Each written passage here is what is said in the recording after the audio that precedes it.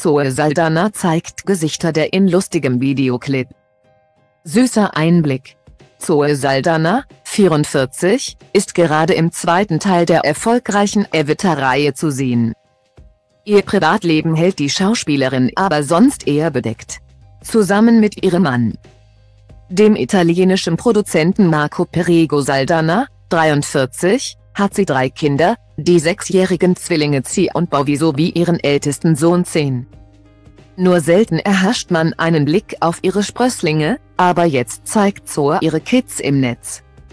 In einem Instagram-Video ließ die 44-Jährige ihre mehr als 9,3 Millionen Fans an dem süßen Moment teilhaben.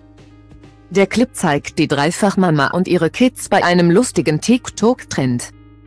Scherzhaft rempelten die Jungs ihre Mutter an und drehten sich zu ihr um, wobei die Gesichter der drei zu sehen waren, Entschuldigung.